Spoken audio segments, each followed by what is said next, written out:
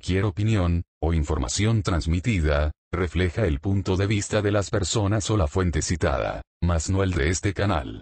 Geraldine Bazán confiesa que es lo más difícil de su divorcio con Gabriel Soto.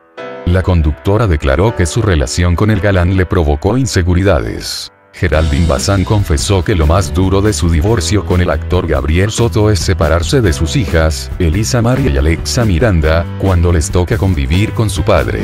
Es solo un día y lo tengo que hacer.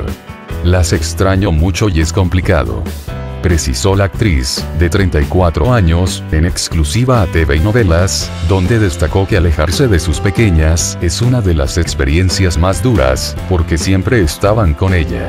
La expareja de Soto, de 42 años, aprovechó la entrevista para explicar cómo les dijo a las niñas que se divorciarían. Señaló que les hablaron con la verdad y pensando en cómo les afectaría emocionalmente.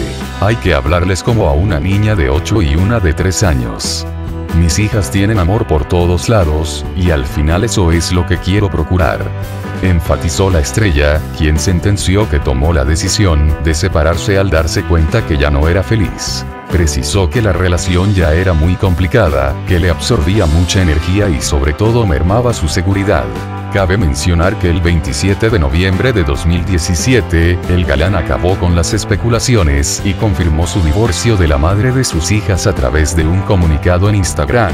En el documento puntualizó que no lograron superar sus problemas y sostuvo que no existía una tercera en discordia. Pero ahora Geraldine Bazán contradijo al actor en la revista TV y Novelas, donde afirmó que Irina Baeva, protagonista de Me declaró culpable acabó con su matrimonio.